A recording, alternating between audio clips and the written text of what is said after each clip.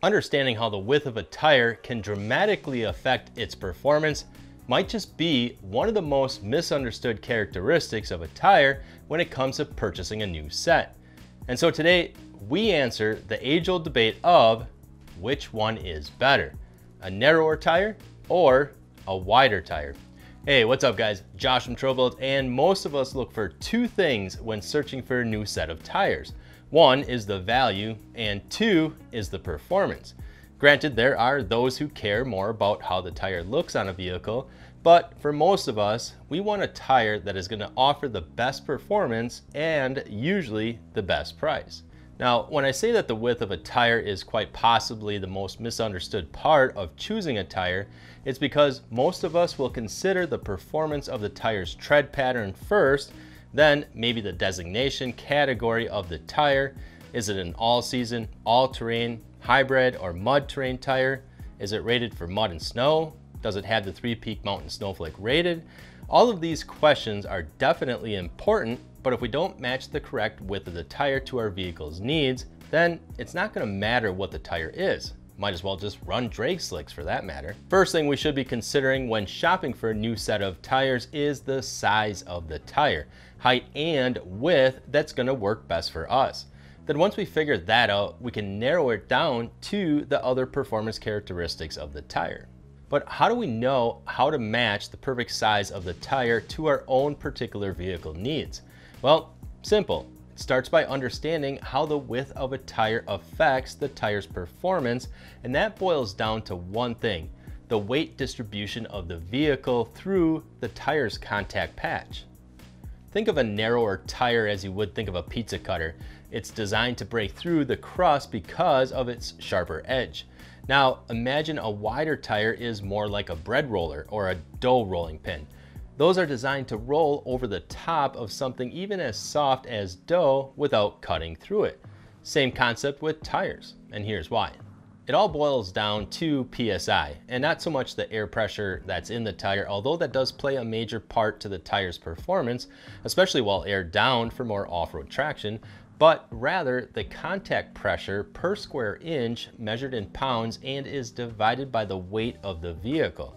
A narrower tire, like a pizza cutter, will have a higher amount of pounds or more weight of pressure per square inch through a smaller contact area compared to a wider tire that distributes more of the weight of the vehicle throughout the wide tire's contact patch, resulting in having a lower number of pounds per square inch of pressure because the weight is more distributed throughout the tire's contact patch. Just like a rolling pin, clear as mud, right?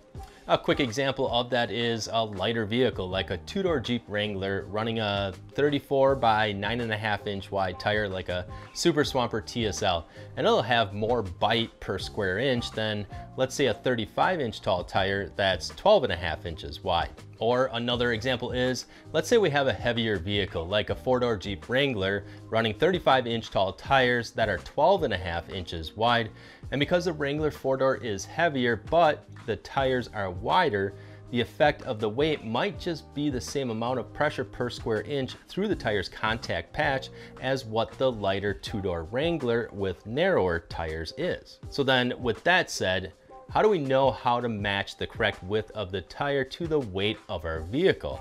And the answer is, it all depends on what we're using our vehicles for and how we're using our vehicle.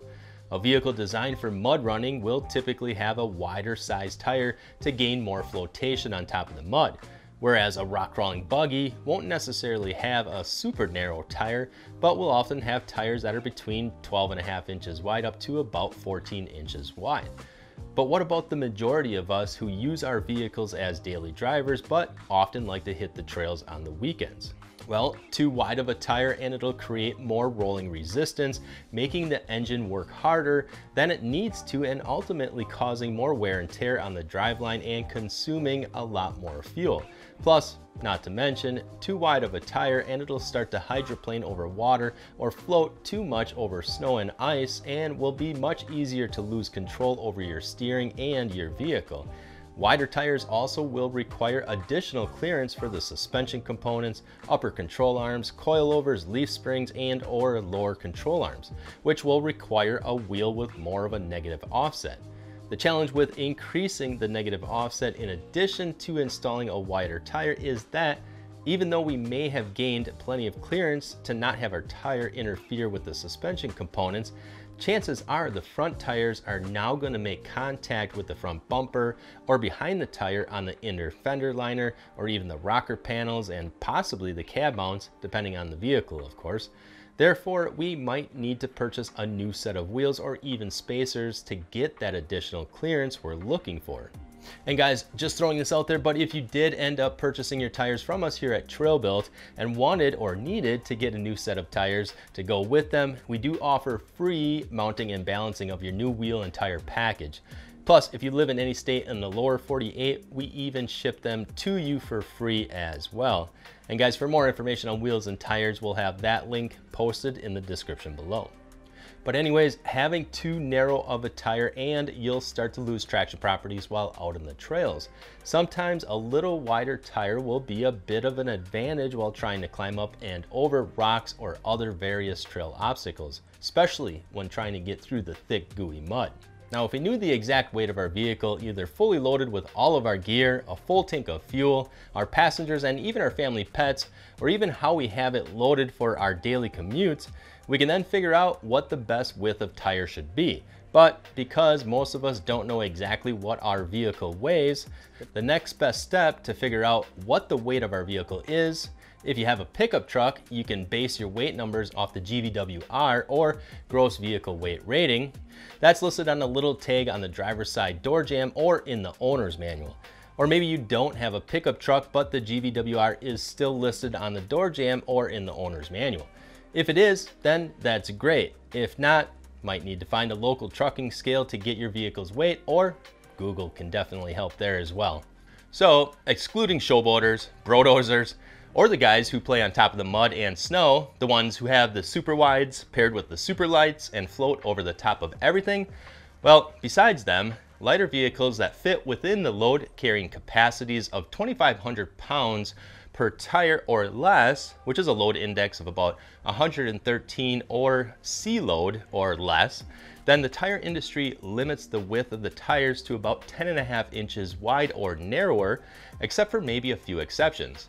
And this is speaking to all season tires, all terrain tires, hybrid and mud terrain types of tires, fitting wheel diameters that are between 17 and 20 inches. Once you start getting to load range D rating and load indexes of 114 and or a 2600 pound per tire or more, then you start seeing the 12 and a half inch wide tires combined in with the narrower tires. But even at that low of a weight rating, which means my vehicle is still pretty light yet, I would want to run a 10 and a half inch wide tire or narrower to get the most traction out of the tire because of having a greater number of pounds of pressure per square inch. Personally, and this is just my opinion from my experiences, but I wouldn't even want to consider a 12 and a half inch wide tire on a daily driver unless the loaded daily weight of my rig was at least about 10,000 pounds or so, just to maintain that higher pounds of pressure per square inch to the ground to avoid things like hydroplaning or